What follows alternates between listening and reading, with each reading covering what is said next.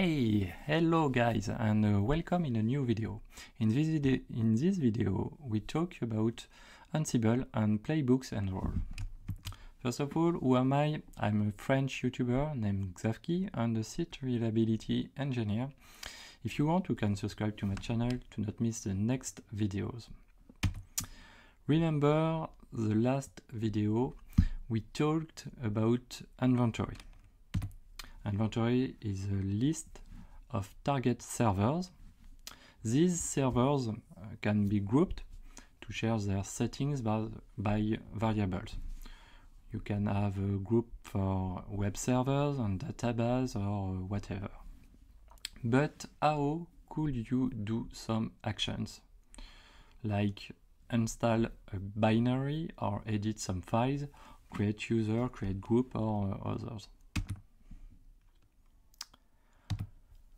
To do some actions in Ansible, you do a task. One task equal one actions. Each task use a module.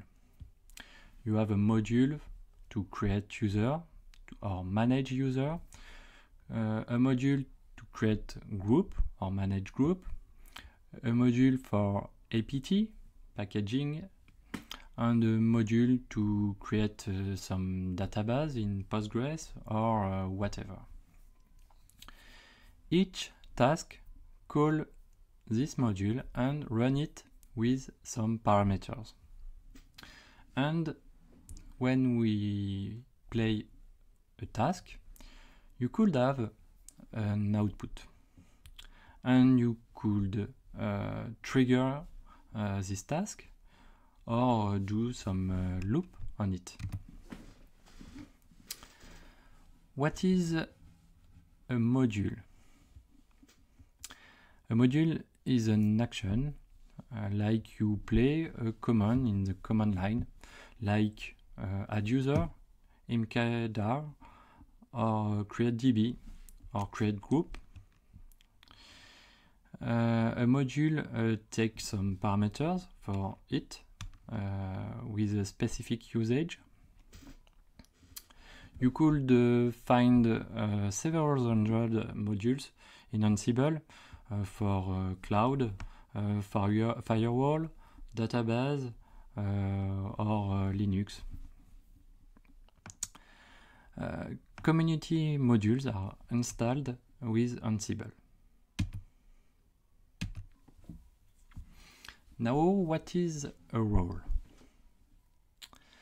A role is one or many tasks. A role uh, set uh, of tasks with a single objective, like install uh, a web server like uh, or uh, to install uh, Postgres and create uh, this uh, uh, is database and some users. Roles organize your code. The main things that can be exchanged with the community is a role. You could find uh, some roles in Ansible Galaxy community and uh, roles can, could be stored with a Git repository like uh, GitLab or GitHub. Roles have specific structure of directories and files. And what is a playbooks? Playbooks are between inventory and roles. Playbooks uh, define which groups will receive uh, which installations,